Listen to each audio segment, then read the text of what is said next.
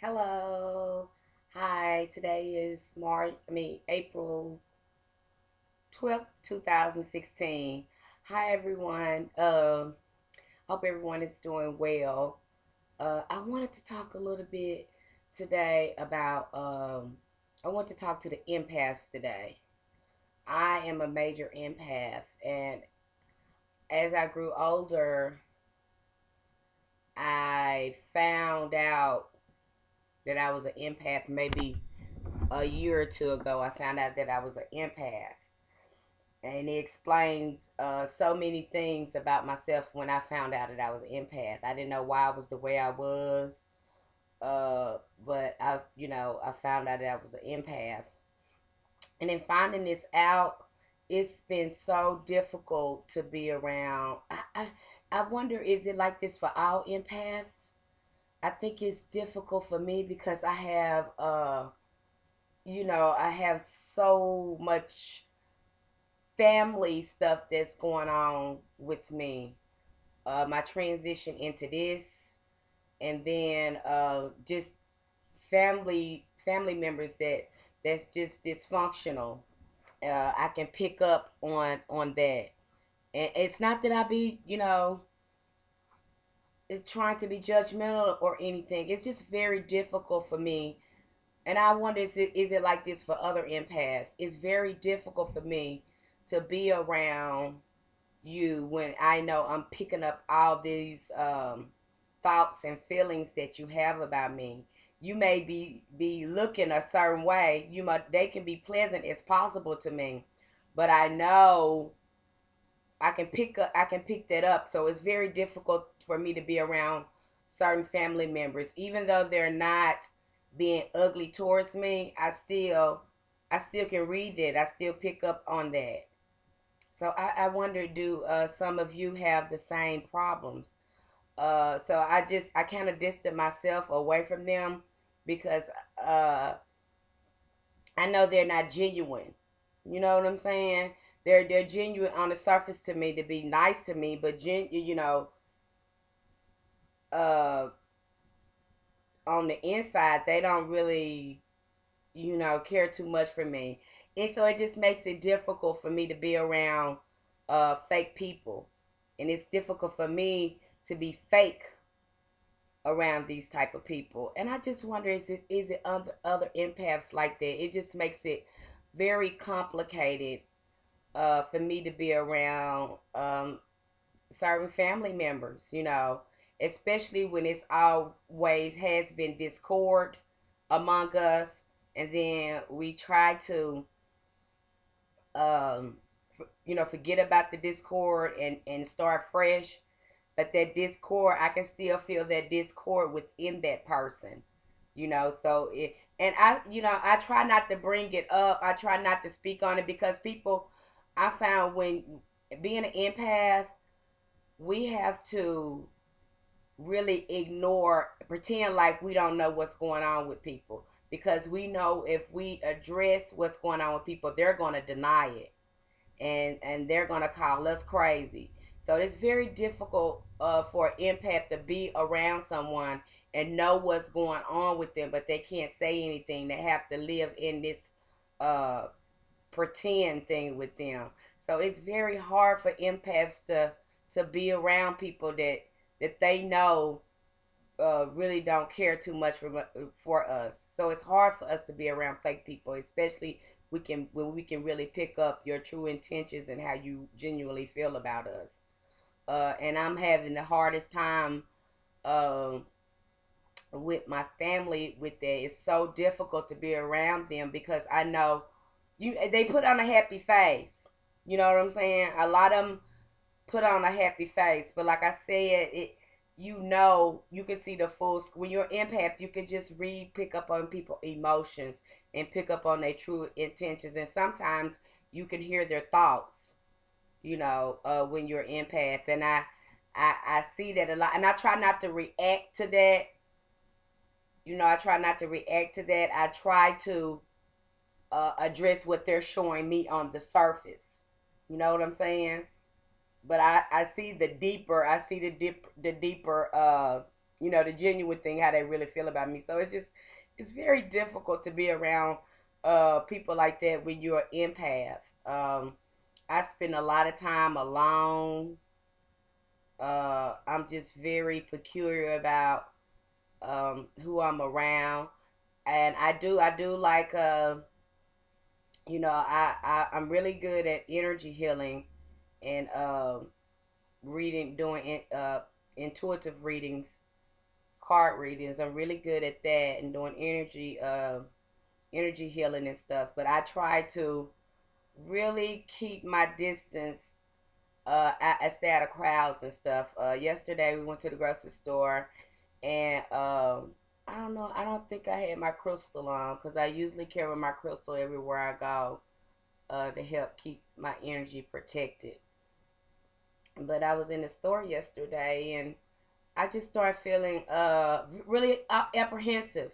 You know, just apprehensive. Like I felt like people were just crowding my space. You know, I, I, I was just like, oh my gosh, I feel like I'm being attacked. You know, and I had to go in my mind and say, okay, these are these energies. You know, this this going on. You're gonna have to, you know, get yourself together. You know, instantly I went inside my mind, say, okay, you're just gonna have to hurry up, get your things, and get out of the store.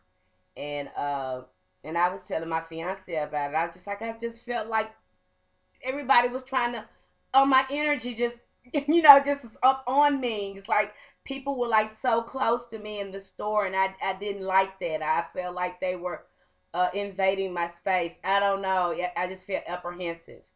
Uh, and then when I got home, I finally got home, and we were putting up groceries and stuff. Uh, stuff, and I think it was just uh, uh the residual after leaving out of the store. But I got really sick and nauseated. I had to sit down for a minute. You know, uh, I had to sit down for a minute, and regain myself.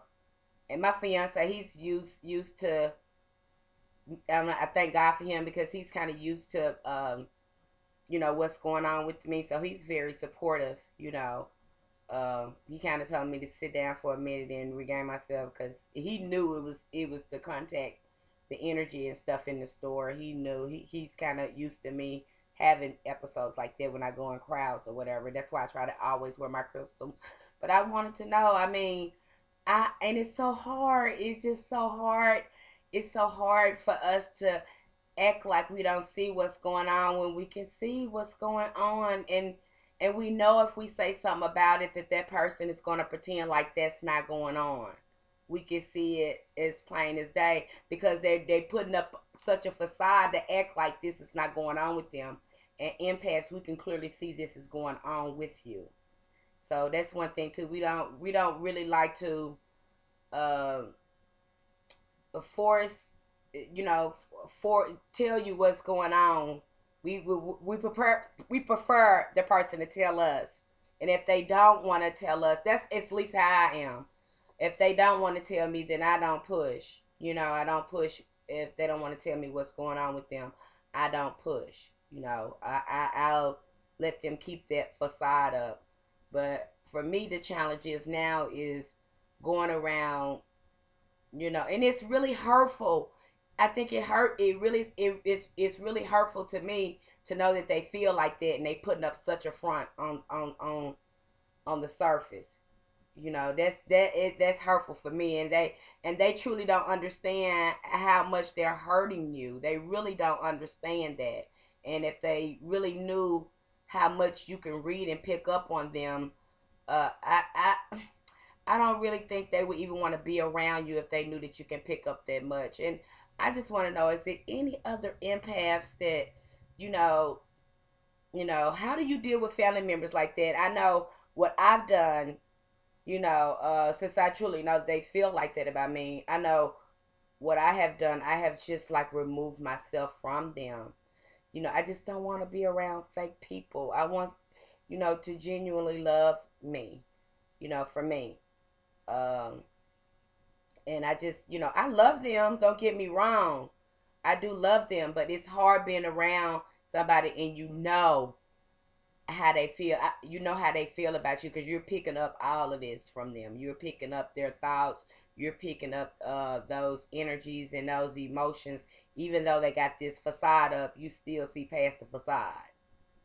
So I mean, and I've just and, and that, that has um, you know, I learned it it it it, it bothered me. So I just started removing myself from those from those uh, kind of people and just kind of I I spend a lot of time among myself, just among myself because I don't, uh, you know, it's just not too many people that I can't, you know, I, I get it, I peep into their energy and I can just see, you know, I can just tell sometime if you authentic, if you're authentic or not.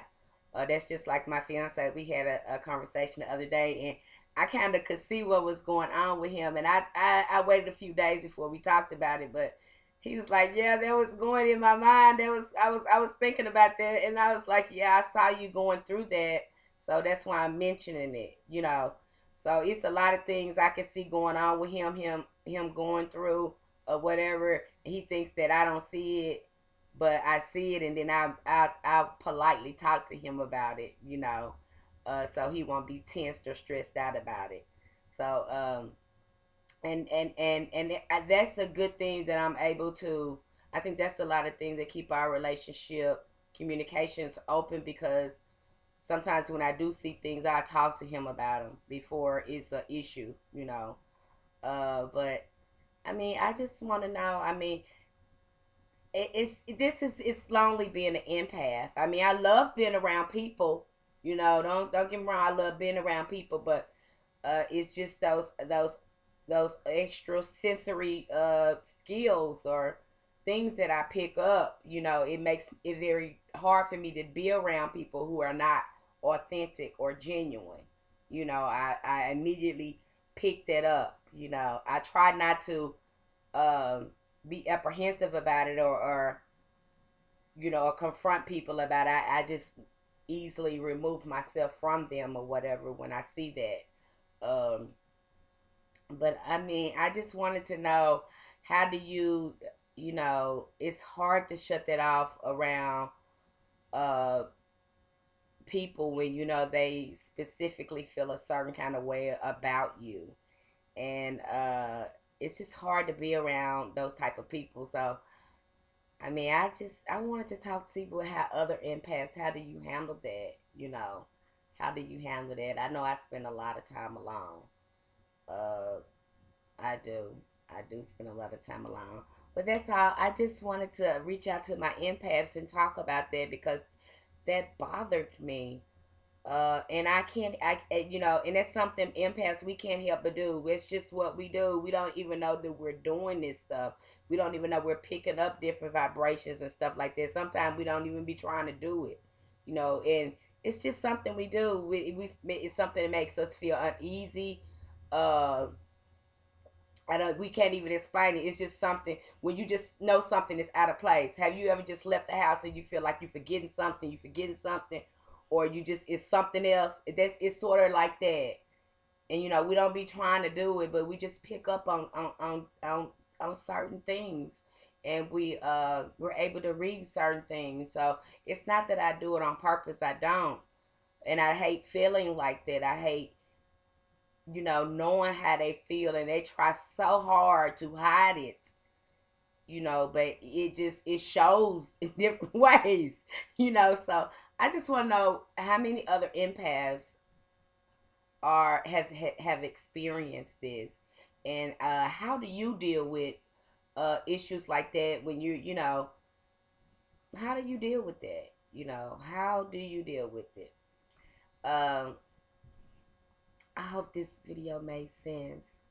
Uh, thank you for listening to this video. Love and light, and may the ancestors be with you.